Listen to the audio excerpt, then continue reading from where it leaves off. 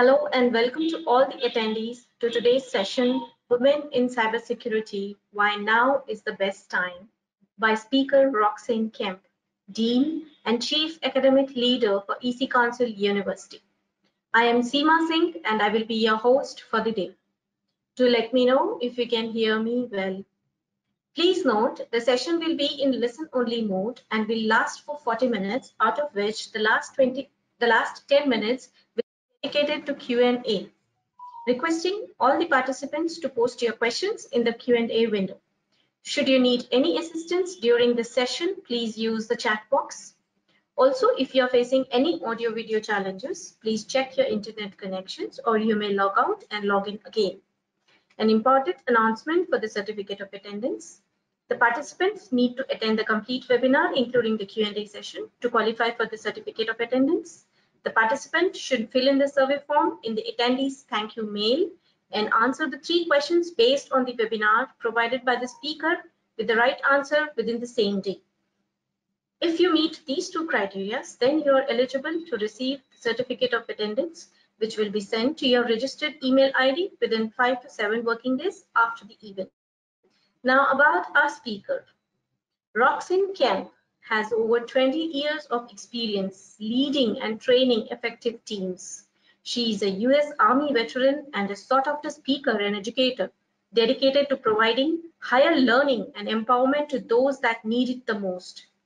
Roxanne coaches individuals and teams to maximize their potential and works with organizations to improve their quality, capturing the audience while sharing her journey from growing up on a small farm in Texas to joining the Army and embarking on a career in education.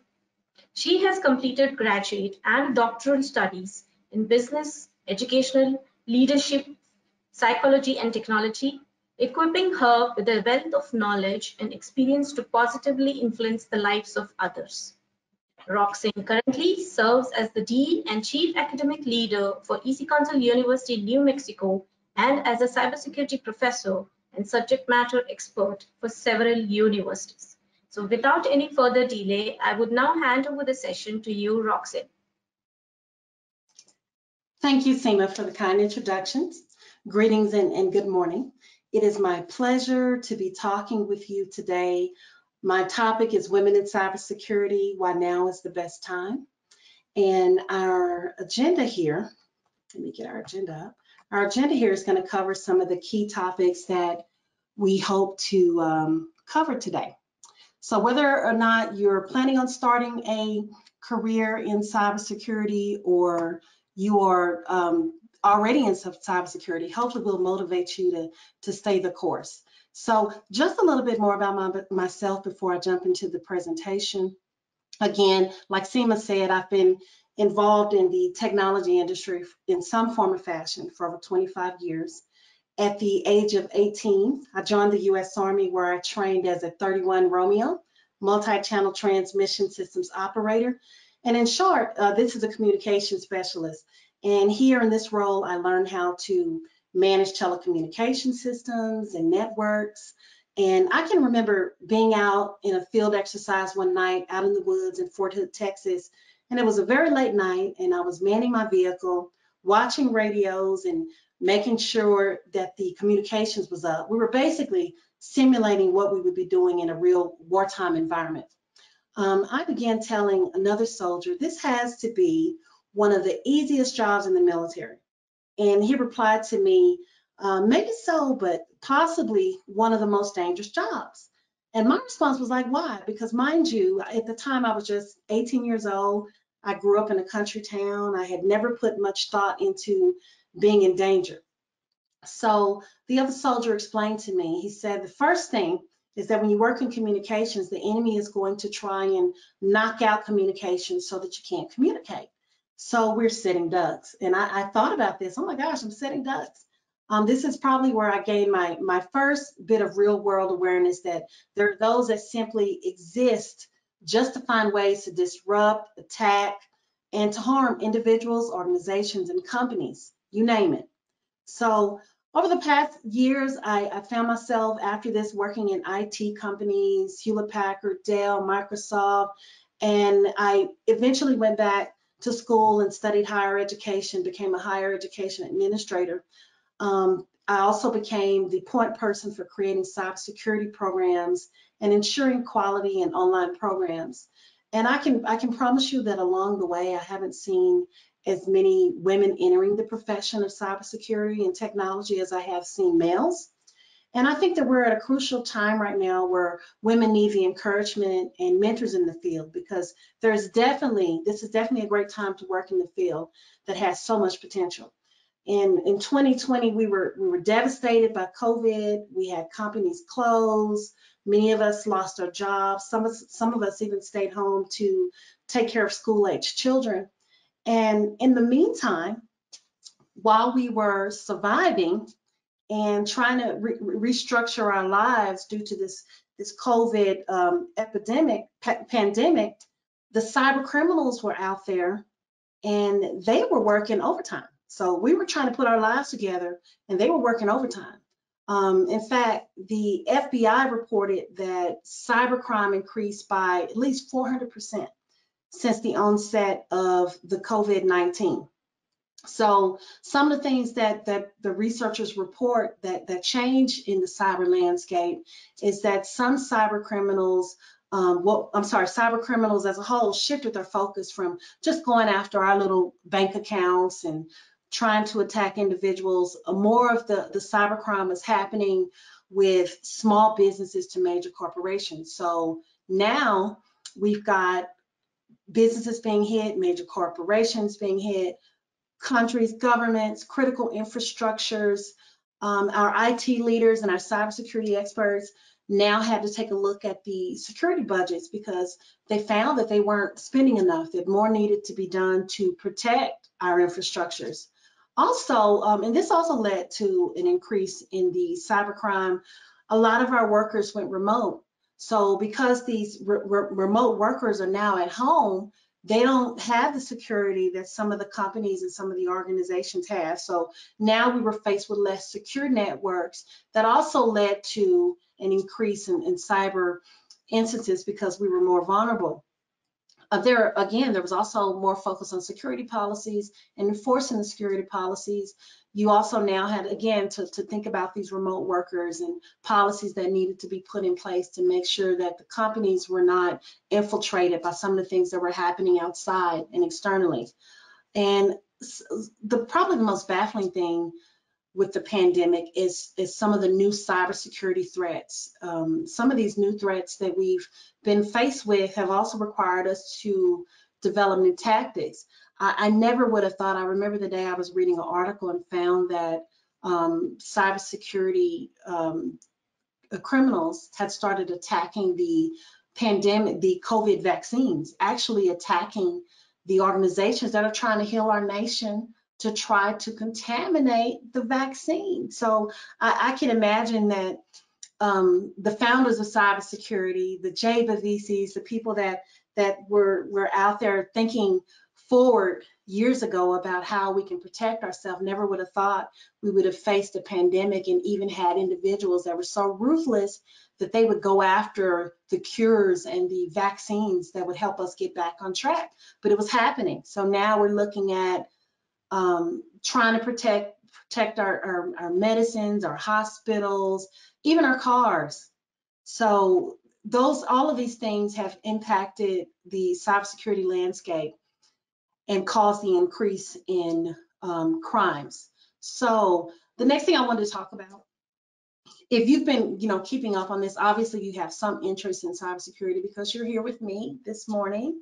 This morning for some, this evening for others. Um, there are a lot of jobs that are that are in demand. Um, when I became a cybersecurity uh, point person in a university and started rolling out programs and trying to recruit students into these programs, one of the things that I like to share with them is that these cybersecurity jobs are in demand. I mean, this this little graphic that I'm showing you on my screen right now is, is from an organization called CyberSeek that I go to look at various pathways and it just basically tells you entry level, what's out there, what the demand is, what type of jobs there are. You see that the cybersecurity specialist um, is, is can the median income is about $92,000 a year. Most of us can survive on $92,000 a year. Um, at the mid-level, you see the cybersecurity analyst, and you can also see that there are cybersecurity managers. One of the things too that's not on the slide that I'd like to point out is that for those of you that that that have this visual, because when I first thought cybersecurity, you think someone sitting behind a computer, they're hacking, they're programming. There are many jobs in the cybersecurity industry. So um, we we will uh, talk about where to find some of these these jobs, but there are some that are not so technical. You have other roles in cybersecurity industry that don't require you to become a programmer. Um, also wanted to, to talk with you guys about um, diversity in cybersecurity. When we think diversity, when I think diversity, I always see those images where you see all these people that, that come from all these various nations, women, men, children, but re really, in cybersecurity, you, you really don't see enough of the diversity. In fact, um, as I researched various um, demographics and, and reports on the statistics in cybersecurity, overwhelmingly, you find that the white male is dominates the cybersecurity industry. We roughly have about 24% women in the industry, and 26% ethnic minorities. So think about it.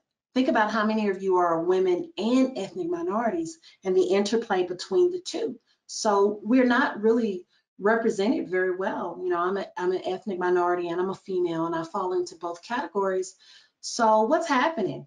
You know, why is there no, there, there not enough diversity in cybersecurity?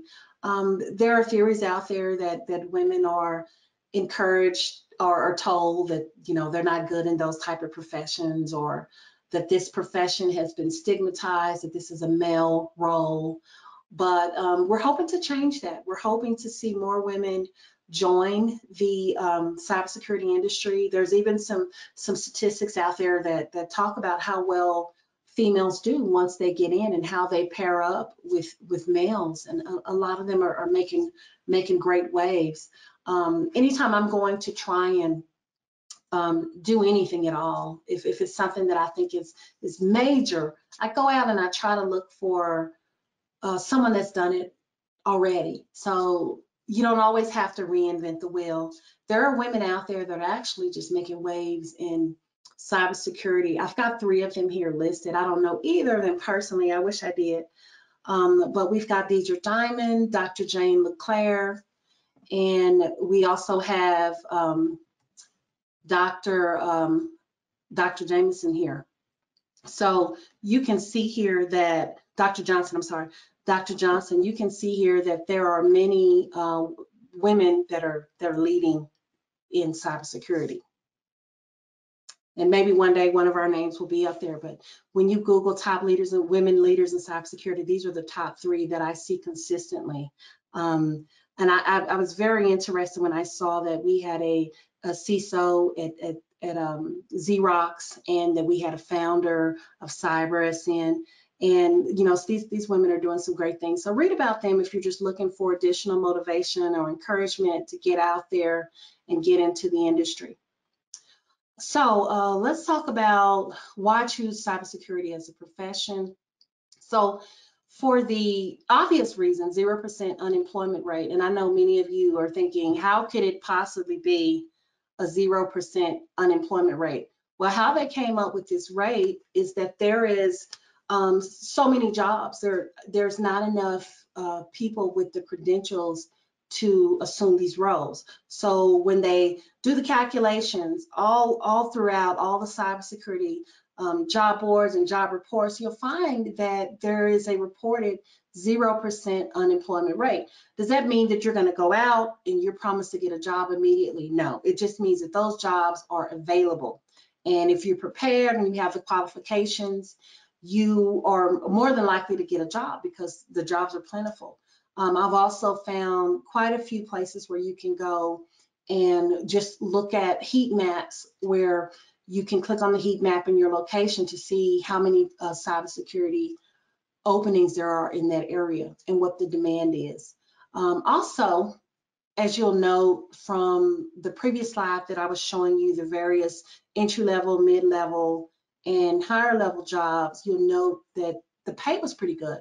So cybersecurity as a profession is one of the highest paid industries. I like to tell my students that are entering the industry, um, at EC Council University, we get a lot of um, mid-career individuals. I also get a lot of students that have already completed some type of training and they're already working in the field. So I love to tell my students that you don't even have to wait to graduate to start working in the field and reaping the benefits of some of the income that's out there.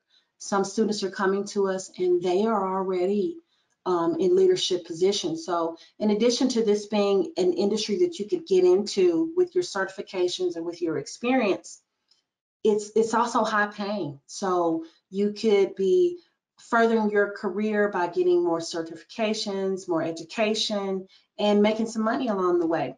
The median pay for the uh, cybersecurity um, analyst was $92,000 and 600 per year. And this was compared to the median um, annual wages for all workers at $37,040. So this is a substantial increase. So this is definitely a great reason to get into the cybersecurity, get into cybersecurity as a profession. Unlimited growth uh, potential. As I mentioned earlier, when I was talking about there's a 400% increase, you know, quite a bit. There's, there's plenty of cybersecurity problems to solve. Um, personally, some of the things that I've had an opportunity, areas that I've had a, an opportunity to work in is the education portion of cybersecurity. So I've had an opportunity to consult with numerous schools, create curriculum for numerous cybersecurity programs, so um, I have found, you know, um, I have a spouse that's also in the cybersecurity field and his area is risk management. So there is so many different areas and avenues that you can tap into. Just basically think about what you like to do, what part of uh, the industry you're more interested in, and you'll of course um, find an opportunity. Um, and also cybersecurity gives you an opportunity to to make a difference. So imagine being that person that stops or, or stops the crime and finds out that there is a threat and um, is able to implement continuous improvement in an organization or either helping help an organization um, get back up when once they've been um, taken down by a cyber criminal. So there, I could go on and on for days about the reasons to choose cybersecurity as a professional, but I'll, I'll, I'll stop there. Also, um, I wanted to talk about um, ways that you can get started in the um, industry. Again, like I said earlier about how you can um, research the industry. In some of the ways that I go out, I would go out and research the industry and recommend, again, just doing a search, doing a search job boards for cybersecurity um, reading about various, we've got tons of cybersecurity magazines, cybersecurity stories. When I create classes for students, a lot of times I'll go look at the just stories, case studies of what happened, how this particular hospital's uh, files were infiltrated. Um, I've talked to, I had one particular student recently that was very passionate about getting into the cybersecurity industry because she was finding that there were tons of vulnerability in the uh, COVID COVID uh, tracking and COVID vaccine rollout and the data, the way the data was being handled. She didn't feel as though the data was secure and that the, the data could easily be tampered with. Um, sometimes you may find that there is a, a, a interplay between what you're already doing and cybersecurity. How does cybersecurity play into what you're already doing? Um, after you kind of found your niche, again, look at the job boards.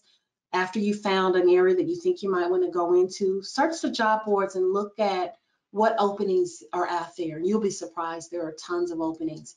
And look at the qualifications. Anytime you want to do something, you want to move up, you want to you want to choose a new career, get a new degree, look at the requirements and that'll help you do some planning um, decide on what kind of training you need. You, you may already have a college degree, you may have certifications. Um, I've definitely seen quite a, quite a few students that came to me already had a master's degree and they were looking to now become a, a credible leader in cybersecurity and they were going forward to get a master's degree in in cybersecurity. So decide on if it's a one class certification you need, a certification exam, or if you really want to get a bachelor's degree or a graduate degree in cybersecurity, decide on what you need based on what you find out on the job boards and the job searches. And then next, of course, I'm here uh, representing EC Council University as their dean. You can also contact my team, contact the EC Council team for help, and we will we will definitely help you get started. And I want to talk about briefly some of the ways that we can help you get started in the cybersecurity industry. Um, some of the things that we're doing to support our, our women in cybersecurity, we have a President Scholarship for Women in Cybersecurity.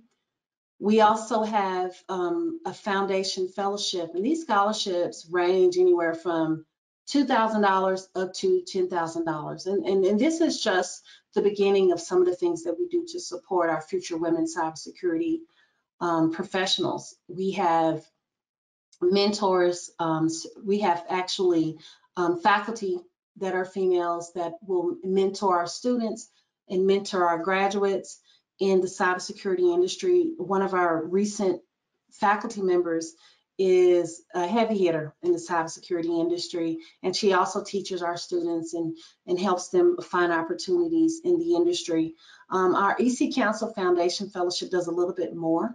We have a fellowship program right now that we are um, that we're offering, and we're looking for the outstanding academic um, achievers, the ones that the, the women out there and, and males alike but since we're talking about women today, I'm looking for the women out there that want to be a part of a fellowship, that would like to learn more about cybersecurity, produce research, um, just actually just make a contribution to this current cybersecurity landscape. Um, so in order to find out more about some of these opportunities, you could you could reach us at the email uh, address on the PowerPoint, and we'll definitely get you started in a career in cybersecurity.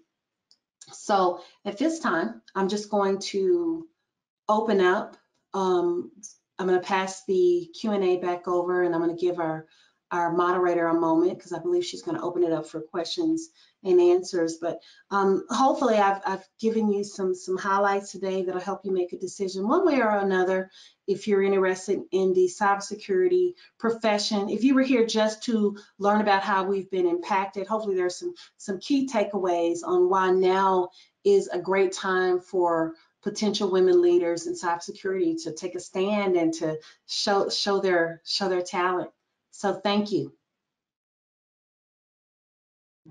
Thank you so much, Roxanne. That was a very insightful and informative session, and uh, I hope all the attendees, uh, it was hope it was worth your time. So before we move on to the question and answer session, uh, if you are interested to learn more about our programs, uh, kindly take part in the poll that is going to be conducted now.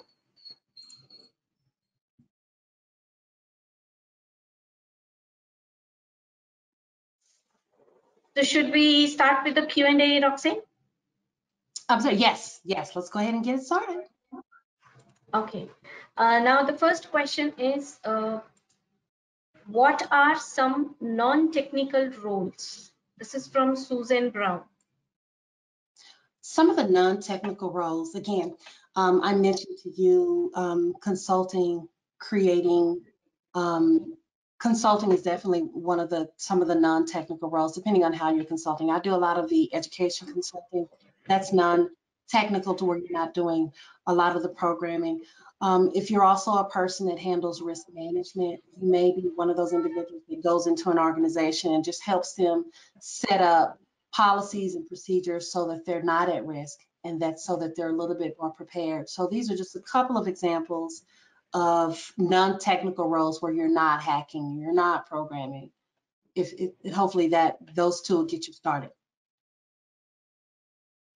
Thank you, Roxanne. Uh, the next question is from Ash Smith. He asks, does cybersecurity in the private sector include work with cell phone work computer analysis?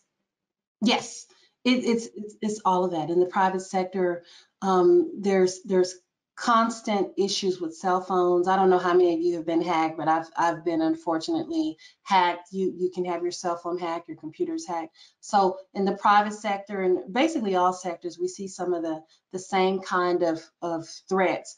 The main goal of the the cyber culprit is to somehow stop you from doing what you're doing, whether it be building a vaccine, using your phone, driving your car, getting medical attention. Um, so there is an opportunity for you in pretty much any, any particular industry. There is a cyber threat waiting to happen. Okay, the next question is, is there details of the cyber industry in the Latin America Caribbean? I'm sorry, is there what again? Is there details of the cyber industry in the Latin America slash Caribbean? Uh, yes, um, there's the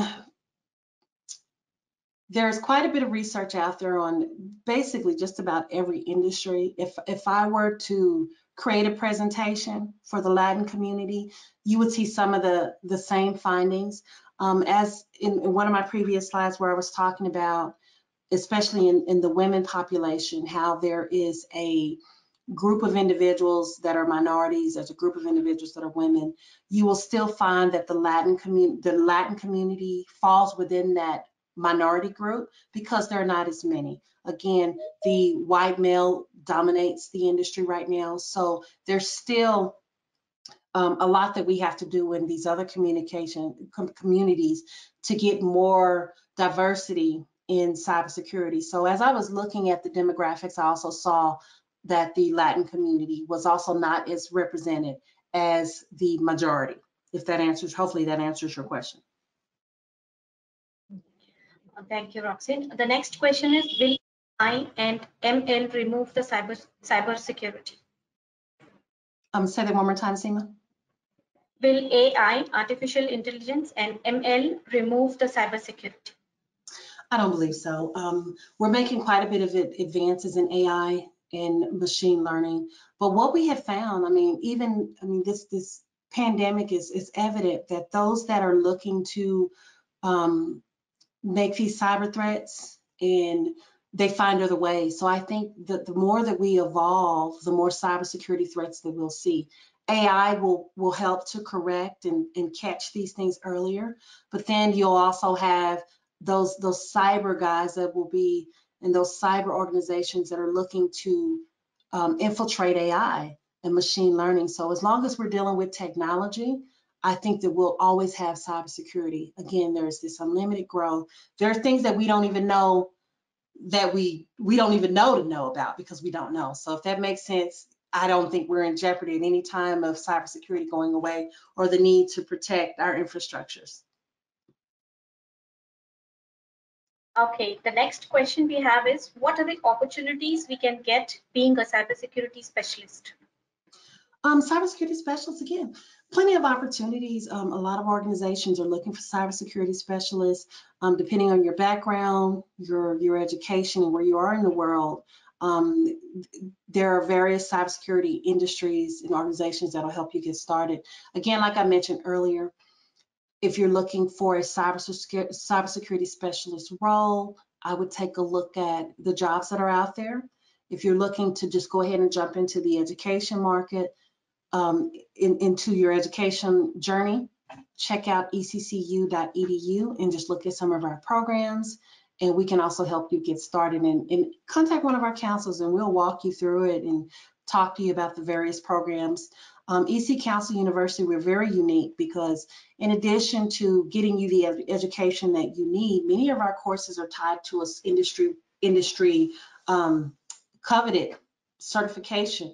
I've worked with other universities and I can tell you we have a strong niche. A lot of students go to college, they get a bachelor's degree, they get a graduate degree, in cybersecurity, computer science, whatever the technology field they get in. And then they get outside of school and they're like, okay, now I need to find a job. But the employer is saying, I need this certification and, and this ex experience. At EC Council University, you can go ahead and get the training that you need. You can also uh, get the certifications along with the training. And you can already be connected with leaders in the industry so that we can start getting you networked and getting you um, involved with organizations that are looking to hire our, our students. Thank you, Roxy. The next question is, how can women in Africa also benefit from cybersecurity awareness campaign?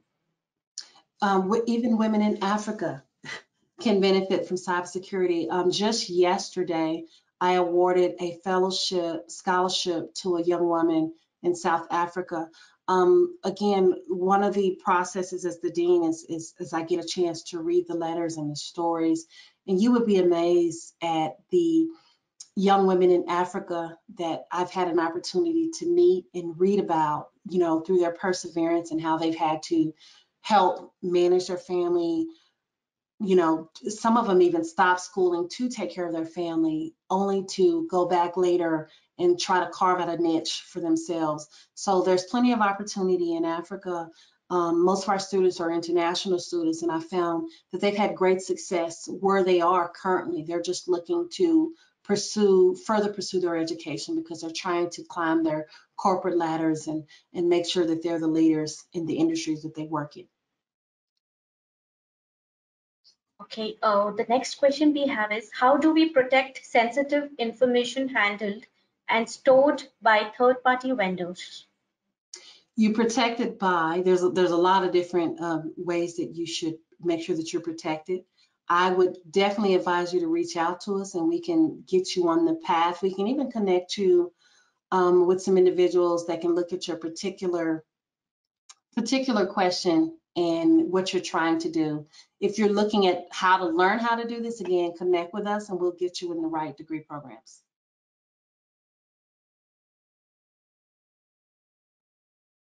Uh, thank you, Roxanne. Uh, the next question we have is, why, despite the huge vacancy in the cybersecurity field, most of the posts remain vacant?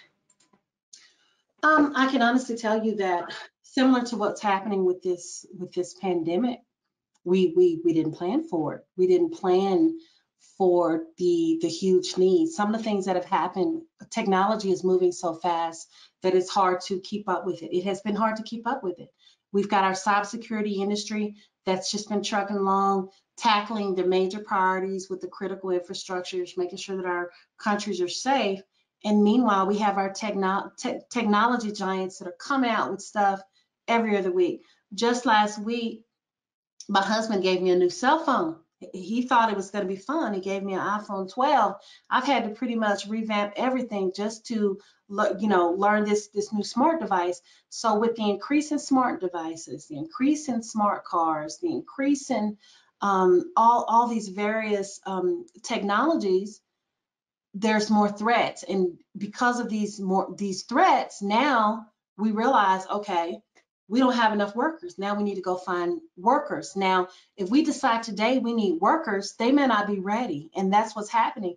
The workers are not quite ready to assume these roles because they don't have the training, they may not have the education, they may not have the experience, they may not even know that the opportunity is there. So one of the things that we need to do is bring awareness to let you know that the opportunities are there and then help position you and get you ready to assume one of these roles. So the reason for the vacancies is that the vacancies are there because we we realize we need more workers. Thank you, Roxanne. The next question we have is how to move to cybersecurity from a developer. I'm a CEH also. Definitely, great transition. Um, one of the things again is just is just get started. Um, there are many pathways that we can we can show you how they lead into other certifications in, in, in certain fields. So definitely reach out to one of our, our experts and we can get you started.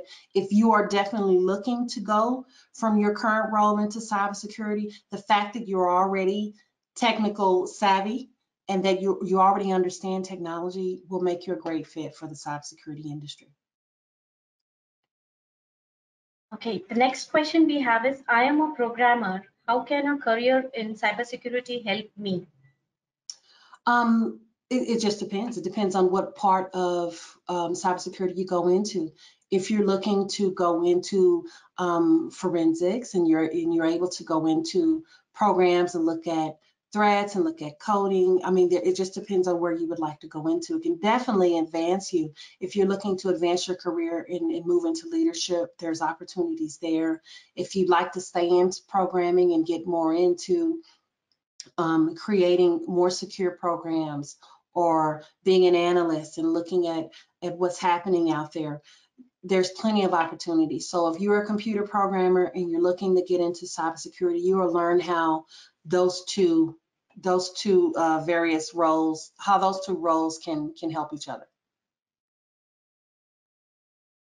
Thank you, um, Roxy. Uh, the next question is, uh, is a cyber architect and cybersecurity analyst job roles similar?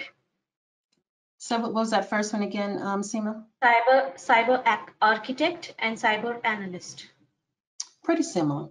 Um, depending on the organization and what their their criteria is, they're pretty similar. You're think about it when you think about the word architect, you think about how they're creating and they're designing.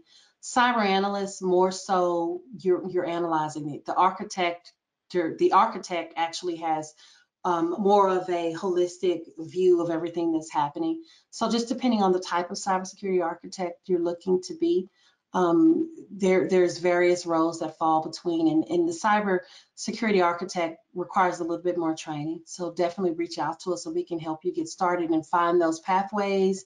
And I would definitely tell you to start by taking a look at both roles. On the slide that I showed you earlier, I had the, I'm, I'm pretty sure I had the cybersecurity architect as, as one of the um, higher level jobs look at the transition going from an analyst to the architect to figure out what type of skills that you'll need to pick up along the way. But definitely get started somewhere. Okay, the next question we have is COVID-19 has indeed huge impact in our society. Did cyber community involved formulating this disease? One more time, ask that question one more time. Do you want me to repeat it? Yes. Okay. COVID-19 has indeed huge impact in our society. Did cyber community involved formulating this disease? Did the, the cybersecurity formulate the disease? Is that what you're asking, Seema? Yeah. Did cyber community involved formulating this disease? Um, I would have to get back with you on that. I'll have to see that question and shoot me an email on that one and I'll do some research to kind of respond to that one a little bit better. I believe that you're asking me, was cyber, does cybersecurity have a part in formulating the disease?